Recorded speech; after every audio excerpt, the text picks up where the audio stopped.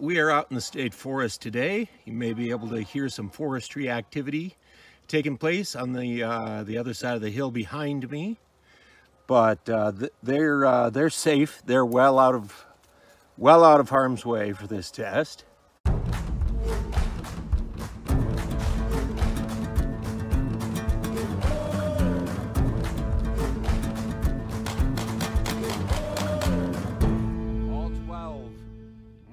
Issues. Greetings discreet defenders. Today we're going to do another 9mm standard pressure 115 grain short barrel ballistics test. And as usual, the, uh, the Taurus GX4 is the test gun. And here is the test subject. Obviously these are Hornady Critical Defense. 115 grain Standard pressure should be a light shooting round. They're claiming 1135 FPS muzzle velocity. I assume that's from a longer barrel than the 3 and 1 16th inch barrel of the Taurus. The first part of our test is going to be the chronograph.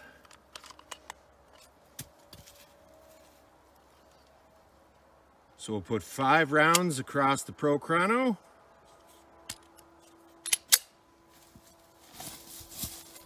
And we'll get about five feet back.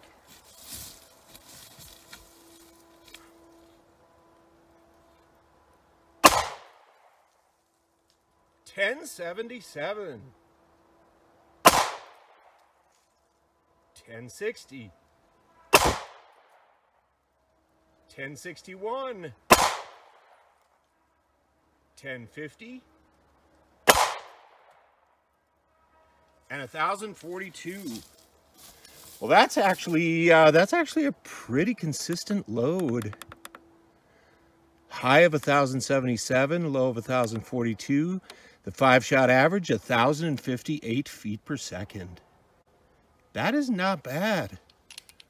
That's not the most powerful uh, standard pressure 115 grain 9 millimeter round we've tested, but it's definitely a worthy test subject. So next we'll move on to the gel block portion of the test. Now this particular gel block did suffer a little bit of freeze damage. So it kind of broke coming out of the, uh, it, when they when they freeze and then they thaw and then they reharden, they, they really stick to the mold. But uh, the overall length here is uh, about 13 and 3 quarters inches. Just backing it up with a kitty litter jar because I'm determined to capture the bullet whatever happens. But I've got a sweet spot right here where it didn't freeze and didn't get cracked at all. It's gonna have to aim just a little bit low. Hopefully I can, uh, I can pull that off.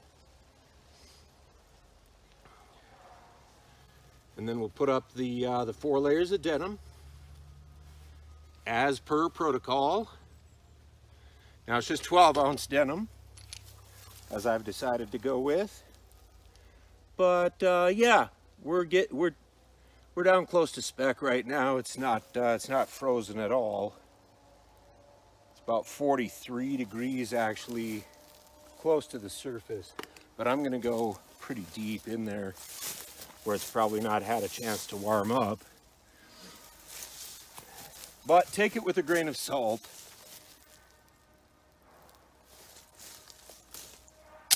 These results will be pretty approximate, but I think we all know what to expect with critical defense anyway. Yeah, that shot placement is exactly where I wanted to go. That is dead on see. And there is the bullet. It has gone clean through, expanded nicely, didn't care about the denim, didn't care about the, uh, the block back here being broken in half or bro broken in two pieces.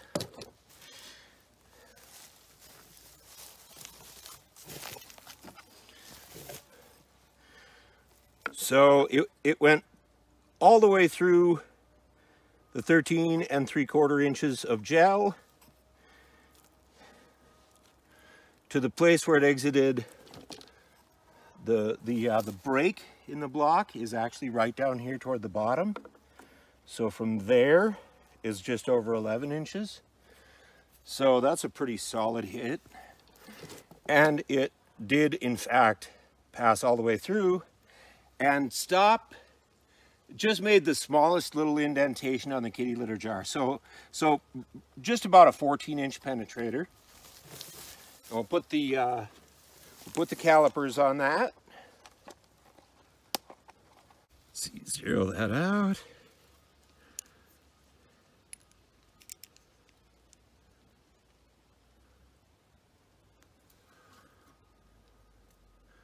Forty-nine one hundredths a little bit less. Well, there we've got a 50, almost a 51. So ju just about 50% expansion. Not quite, but close, close enough. Good enough for government work. I'm gonna, I'm gonna line up and do a, um, and do a bare gel shot on this right now, uh, just to, uh, to, to kind of get a, a worst case scenario on that, on that penetration depth.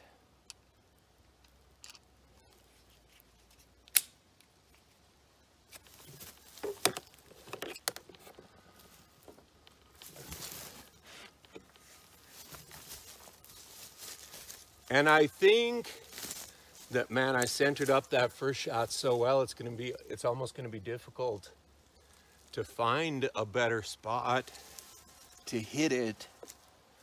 But I think if I shoot just a little bit to the left and above, it should work. Yes, I think that's, I think that did it. And did we capture the bullet this time? Yes, we did. We captured the bullet with the bare gel shot. Let's measure the penetration depth on that. All right, so right to where that bullet has ended up,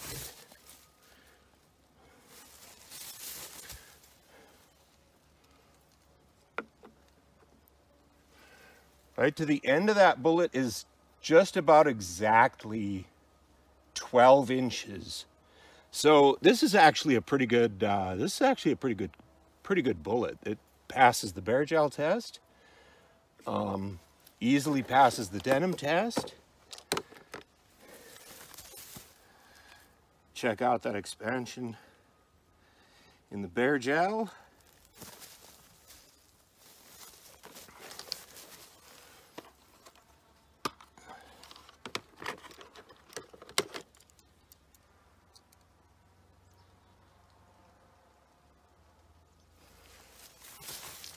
Much bigger expansion from the bare gel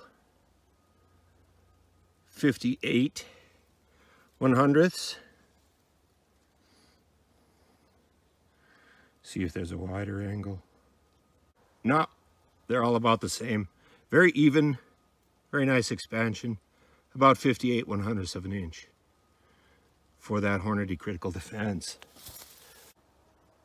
so, while it is a little bit more expensive uh, th than the rounds I like to test typically, I would say that the Hornady Critical Defense is probably worth it. If you're, uh, if you're looking to defend yourself with a nice light shooting 115 grain standard pressure round out of a short barrel pistol like the Taurus GX4. Thanks, folks. This is Dave for DDR. Have a great week. No issues.